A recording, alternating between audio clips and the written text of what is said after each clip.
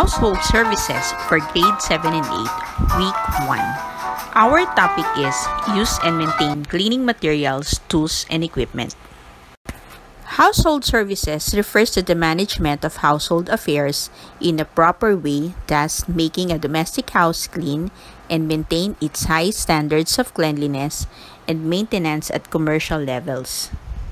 It is also known as house cleaning or housekeeping, which includes overall cleaning of the house, like window cleaning, putting furniture at the right place, doing dishes, maintaining lawns, taking out all the trash from the house, and making repairs to household appliances and so forth.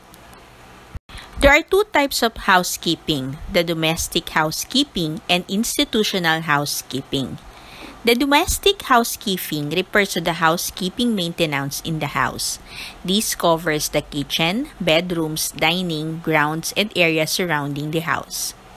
The institutional housekeeping refers to the housekeeping maintenance for establishments like hotels, resorts, apartments. It covers the guest rooms, halls, and corridors, offices, stairways, grounds and plants, public areas, and restaurants. The importance of housekeeping. It is not just keeping a family's house, but also a hotel and other establishment a safe, clean, comfortable, and inviting home.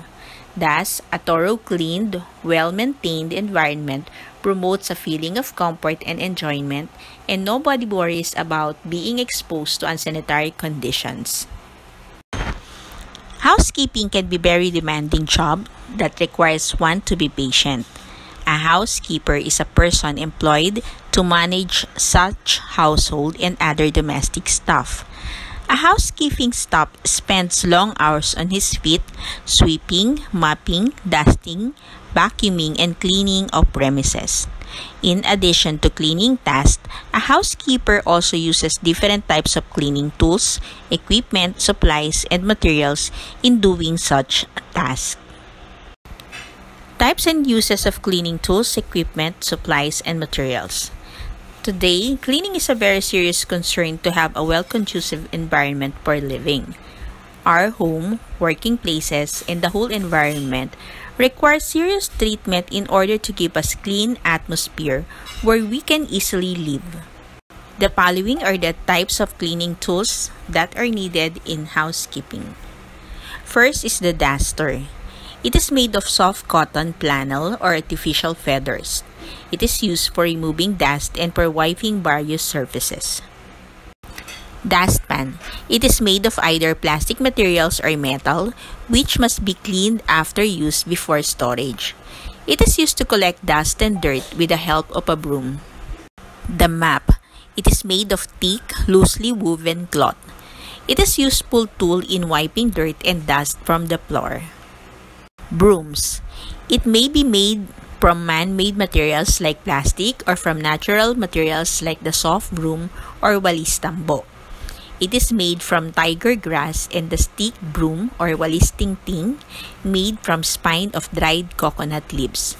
It is used in sweeping dirt and dust from the floor and other areas that needs cleaning. Toilet brush. It is used for cleaning bidet and toilet bowls. Sink brush used for unclogging sink. Scrub brush, used for cleaning sturdy dirt from floors and walls. Carpet hand brush, it is an alternative for a vacuum in cleaning the carpet. Soft hand brush, it goes with the dustpan and it is used to collect dust. Long handle brush, it is a soft brush with long handles to clean hard to reach walls or it is used in scrubbing floors. Bucket or pails.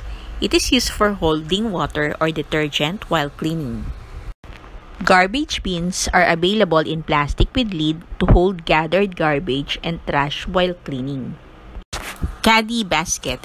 It is used to hold small tools and chemicals while cleaning. Squeegee. Used to gather water while cleaning window glasses spray bottles used to squirt, spray, or mist fluids in a dirty surfaces. Sponge, made of soft porous material, absorbs water and becoming soft when wet. It is used for wiping or cleaning impervious surfaces. Cleaning equipment. It refers to any of a large class of device used for cleaning. Example of this is the floor scrubber or polisher. It is used in scrubbing, stripping, and polishing hard floor surfaces, vinyl, and wood parquet. The vacuum cleaner. It is used in removing dust and small pieces of debris from the floor, upholstery, furnishings, walls, and ceilings. Upholstery steam cleaner. It is used to clean the carpet and upholstery. It had been fitted with an upholstery wand for maximum reach when dealing with tight, hard-to-reach crevices of upholstery. High pressure washer. It is designed to remove soil from the surface with the help of water and steam subjected to high pressure. Water under pressure dislodges the dirt from the surface. Carpet shampoo machine. Used for deep cleaning and stain removal. The cleaning agents are simply mixed with hot water and detergents. The detergent is injected on the carpet piles and extracted back by a wet vacuum built in the same machine. Among all the cleaning equipment listed, the most commonly used by a room attendant in cleaning are the vacuum cleaner and the floor scrubber and polisher. The cleaning supplies and materials. It refers to consumable items used in cleaning. Example of these are the liquid detergents. A detergent in liquid form used for cleaning tools and equipment. The water. It is also known as universal solvent, a liquid used for cleaning most of the tools and equipment. Cleaning detergent. Most common type of cleaning agent may be in the form of powder, liquid, gel, or crystals. A surfactant or a mixture of surfactants with cleaning properties in diluted solution that is also used in cleaning purposes, making it easy to wash it away. Paper towels, an absorbent textile made from paper instead of cloth, used in drying hands, wiping windows, dusting, and cleaning up spills. Scrubbing foam, used to remove the contaminants of any tool and equipment, and you have to replace this regularly. Safety measures or precautions in cleaning tools. Household servicing is not just cleanliness. It includes keeping work areas neat and orderly, maintaining halls and floors free of slip, trip, hazards, and removing of waste materials like paper or cardboard and other fire hazards from the work areas. Safe use. Risk can vary greatly. What important is Whoever has to use any tool or piece of equipment as part of their job does so with care. To ensure safe use, employers must orient workers and provide suitable information. They must also check that workers have appropriate qualifications to use intricate tools and equipment. In addition, as part of their health and safety strategy, employers should offer orientation and training.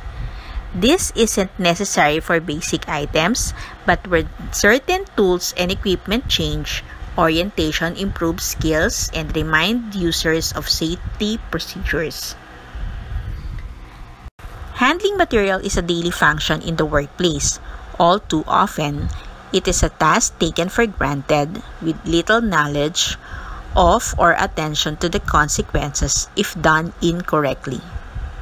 Here are some quick and easy tips for safety measures, precautions in cleaning tools. First, inspect your cleaning tools. Second, pick the right cleaning tool. Third, wear your personal protective equipment or PPE. Fourth, don't alter your tools. Handle it with care. And fifth, keep your workplace clean.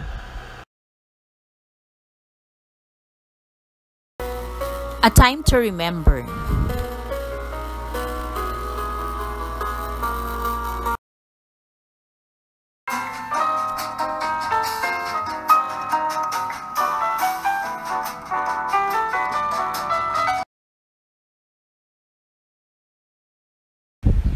This is Mylene Huliganga. Thank you for watching.